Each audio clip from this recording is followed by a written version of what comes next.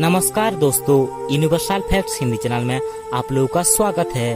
पिछले वीडियो में हमने सौरमंडल तथा पृथ्वी के निर्माण के बारे में बात कर ली है। आज हम बात करने वाले हैं पृथ्वी का निर्माण और पृथ्वी पर जीवन के प्रारंभ के बारे में, यानी कि हम पिछले वीडियो की कहानी को आगे लेकर जाएँगे। पिछले वीडियोज़ में हमने ब्रह्मांड तथा सौरमंडल की उत्पत्ति के बारे में विस्तार रूप से बताया है। इसलिए अगर आपको इस सीरीज़ को समझना है तो आप हमारे पिछले वीडियोज़ को ज़रूर चेकआउट कीजिए। तो चलिए आज की वीडियो को हम स्टार्ट करते हैं। हमारी पृथ्वी अपने निर्माण के समय आज जैसी बिल्कुल भी नहीं थी। यह किसी आग के गोले की समान गर्म थी। इसमें ना ही पानी मौजूद था और ना ही ऑक्सीजन मौजूद थी। हमारी पृथ्वी विकास के एक लंबी दौर से गुजरी है, जिसका परिणाम स्वरूप हमारे पृथ्वी पर आज जीवन का संभव हो पाया है। समय के साथ कई प्राकृतिक घटनाएँ घटी, जिन्होंने पृथ्वी पर जीवन के मुमकिन बनाया है। ऐसी कुछ घटनाओं के बारे में आज हम बात करने वाले हैं। पृथ्वी पर जीवन संभव हो, इसके लिए पहली घटना थी सौरमंडल में पृथ्वी का स्थान। सौरमंडल में पृथ्वी जिस स्थान पर स्थित है, उसे गोल्डी लोक जोन या फिर कंफर्टेबल जोन कहा जाता है। शुक्र तथा मंगल के मध्य स्थित ये क्षेत्र पूरे सौरमंडल में एक ही मात्र ऐसा क्षेत्र है, जहाँ पर सूर्य की ऊर्जा संतुलित मात्रा में पहुँचती है। दूसरे अर्थ में कहा जाए तो पृथ्वी ना ही मंगल जितनी ठंडी है और ना ही शुक्र जितनी गर्म है। इस क्षेत्र में रहने के कारण पृथ्वी पर जीवन का संभव हो पाया यानी कि पानी जो है वो तरल अवस्था में पृथ्वी पर मौजूद रह पाया। हम जानते हैं कि पृथ्वी अपनी ऑर्बिट पर घूमती हुई सूर्य की परिक्रमा करती है, जिसके चलते दिन रात और मौसम में बदलाव होते हैं। किंतु पृथ्वी का अपनी ऑर्बिट पर बने रहना संभव नहीं था। और ऐसी स्थिति में पृथ्वी पर जीवन भी संभव नहीं हो पाता। यह माना जाता है कि पृथ्वी का निर्माण के कुछ समय बाद मंगल ग्रह जितना बड़ा ही एक ग्रह जिसका नाम थिया था, पृथ्वी से टकराया था, जिसके बदले चंद्रमा का निर्माण हुआ। चंद्रमा के होने से पृथ्वी को स्थिरता मिली।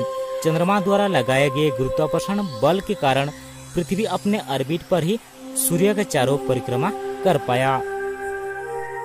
पृथ्वी को स्थिरता तो मिल गई और यह स्थान पानी के लिए भी अनुकूल हो गया। पर पृथ्वी पर पानी पहले से ही मौजूद नहीं था। धरती की बनावट के 50 करोड़ वर्ष बाद पृथ्वी पर अंतरिक्ष से उल्का पिंडों की बौछार होने लगी।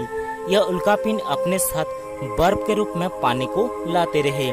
करोड़ों वर्ष तक चलने वाली इस प्रक्रिया के कारण पृथ्वी पर उपयुक्त मात्रा में पानी जमा होने लगा और महासागर का निर्माण हुआ। धरती पर पानी की कमी तो पूरी हो गई, पर धरती पर ऑक्सीजन अभी भी मौजूद नहीं था। भले ही धरती पर ऑक्सीजन मौजूद नहीं था, पर समुद्र के अंदर जीवन की शुरुआत के लिए परिस्थितियाँ काफ़ी हद तक अनुकूल हो गई थी। जीवन के लिए आवश्यक सभी तत्व, जैसे एमोनिया नाइट्रोजन कार्बन आदि समुद्र के भीतर बनी जलतापीय चिमनियों के माध्यम से आते रहे, और इसी वजह से एक कोशिकीय जीवों का रूप में जीवन की शुरुआत हो पाई। समय के साथ ये एक कोशिकीय जीव विकसित हुए, तथा तकरीबन दो दशमलव सात अरब वर्ष बाद साइनोबैक्टीरिया की उत्पत्ति हुई, जिसने पेड़ पौधे की तरह ही सूर्य के प्रकाश की ऊर्जा को प्रयोग करके ऑक्सीजन का निर्माण किया, और इस प्रक्रिया को हम प्रकाश संश्लेषण के रूप में जानते हैं। ऐसे ही सूक्ष्म जीवों ने करोड़ों वर्षों के बाद धरती के वायुमंडल को ऑक्सीजन से भर दिया ऑक्सीजन के होने से पृथ्वी को ओजोन लेयर के रूप में एक सुरक्षा कवच मिल गया, जिसके परिणाम स्वरूप सूर्य से आने वाले हानिकारक अल्ट्रावायलेट लाइट पृथ्वी तक नहीं पहुँच सकती थी।